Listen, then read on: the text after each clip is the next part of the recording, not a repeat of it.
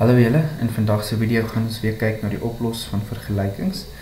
In die vorige video het ons slegs te doen gekry met plus en minus binne 'n vergelyking en vandag gaan ons met maal en deel ook te doen kry, as ook faktorisering. Kom ons spring dadelik weg en ons kyk na hierdie volgende vergelykings. 2x minus 5 is gelyk aan 9. So nou ons wil altyd die veranderlike op sy eie kry saam met die getalle wat ons dan wil uitwerk aan die ander kant van die is gelyk aan. Maak seker jou is gelyk ons is onder mekaar. Goed, so hier gaan ek dan net 2x en ek gaan die negatief 5 daai kant toe vat, dan word dit 9 plus 5.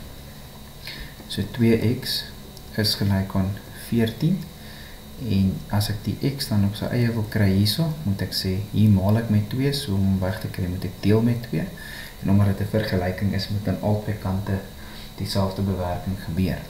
So 14 gedeel deur 2 is 7. Goed, so die volgende enetjie, kyk ons dan sê ons ons wil 3x op sy eie kry. So ek het negatief 18 en dan gaan ek hierso sê die 6 gaan oor of ek sê minus 6 minus 6 aan hierdie kant. So ek het minus 6. So dan het ek 3x is gelyk aan negatief 24. So dan om die 3 voor die x weg te kry, sê ek gedeel deur 3, gedeel 3. So x sal gelyk wees aan negatief 8. Baie belangrik onthou as ons sê negatief gedeel deur 'n positief, dan is die antwoord negatief. Reg, as ons hier kyk na die volgende enetjie, het ek x gedeel deur 5, so op 'n breek van 5 plus 10 gelyk aan 15. So ek gaan sê x op 5 se eie die plus 10 gaan ek oorvat na die 15 toe, dan word dit minus 10. So dan is dit x op 5 is gelyk aan 5. En as dit hierso deel gedeel deur 5 is en ek wil daai 5 wegkry en dat dit net 'n x is, dan sê ek maal 5 op 1 en wat ek aan die een kant doen, doen ek ook aan die ander kant. So dan het ek hierso x en 5 maal 5 is 25. Goed, met die volgende som het ek 3 en dan hakies x plus 1. So hier moet ek eers die hakies uit um, faktoriseer, so ek vat die 3 voor die hakie en ek vermenigvuldig hom binne in die hakie in met die twee die veranderlike en die getal wat daar dan is. So ek sê 3 maal x gaan wees 3x en 3 maal plus 1 is positief 3 gelyk aan negatief 18. Nou het ek 3x wil ek op sy eie kry, so ek gaan die plus 3 oorvat na die 18 toe, minus 18 toe. Dit negatief 18 en negatief 3.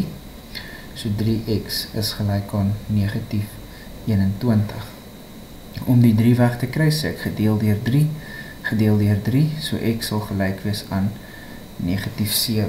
Onthou, negatief 21 gedeel deur positief 3 is negatief 7.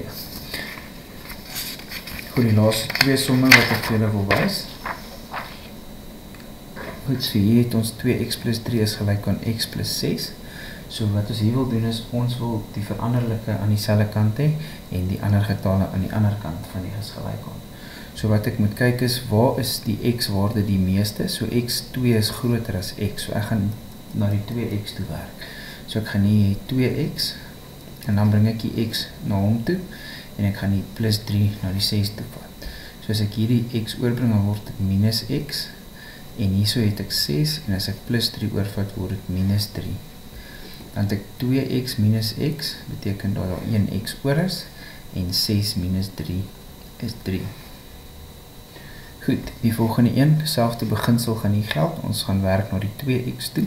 So ek gaan net 2x, ek gaan die negatief x na die 2x toe bring, dan word het plus x, is gelijk aan, ek het minus 28, en as ek die negatief 10 na die 28 toe vat, dan word het positief 10. Dan het ek 2x plus x is 3x, en ek het negatief 28 plus 10, wat dan negatief 18 is. Goed, nou het ek 3 maal x is negatief 18, so ek sê gedeel dier 3, gedeel dier 3, dan bly daar x oor, en die waarde van x is dan negatief 18 gedeel dier 3 is negatief 6.